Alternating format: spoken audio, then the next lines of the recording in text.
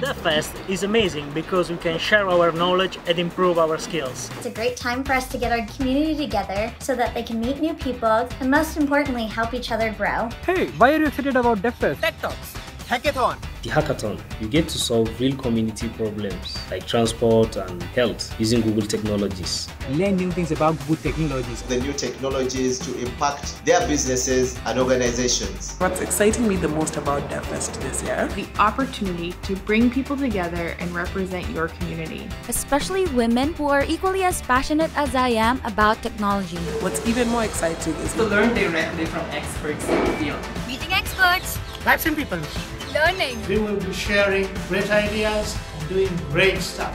DevFest is amazing. A lot of amazing people. Local outreach. Free food.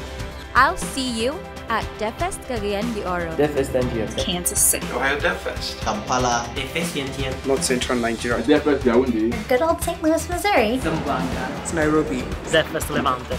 See you at DevFest 2018.